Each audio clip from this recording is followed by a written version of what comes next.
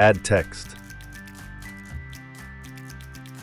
Add text overlays and titles with text clips in VideoPad. Click the Add Text button on the toolbar and select one of the text options. Enter your text and edit the text properties.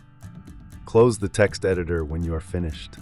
The text clip will be added to the images bin and placed on your sequence at the cursor. Continue watching for additional details on adding text to your video. Clicking on the Add Text button on the Home tab opens a drop-down with many text options. Use the Simple Text Overlay for complete control, or use one of the animated options. Selecting the Simple Text Overlay opens the text editor. Type your text in the editing window. To make changes to the text, click and drag with your mouse to highlight it. The text properties are divided into three sections at the top of the editor. On the left, select your font from the drop-down. Emphasize text by selecting bold, italics, or underline. Enter a size or use the up-down arrows to increase or decrease the font size. Click on the color swatch to change the text color. To add a shadow, click on the checkbox next to Shadow. As you make changes, you will see the adjustments to your text in the Clip Preview window. In the center of the text editor properties, you can add an outline by selecting the checkbox next to Outline. Use the slider to increase or decrease the size of the outline. Click on the color swatch to change the color of the outline. Beneath Outline is a drop-down where you can change the editor background color, the text background, or give the text clip a background color with full background.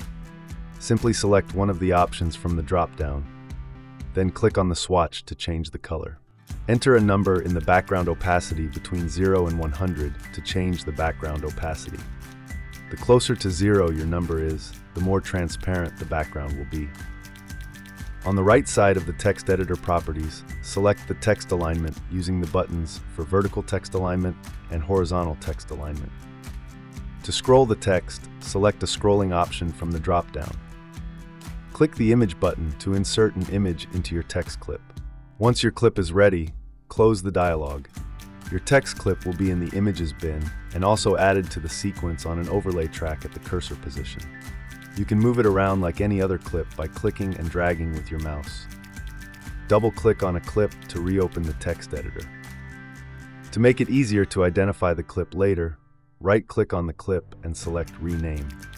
For animated text titles, click the Add Text button again and select one of the character animations. In the text editing window, enter your title text, then choose the font, size, and color. Click on the animation duration and type in a new number to change it and the clip duration to change it. The animation duration is the amount of time it takes the animation to complete. The clip duration is the length of the text clip. Close the text dialog and this clip will be added to the videos bin, as well as placed on the sequence timeline. If the clip is placed on a track over a video, it will export as an overlay on the video. If the clip is over an empty area, it will appear to have a black background. For more VideoPad tutorials, visit the address shown on your screen.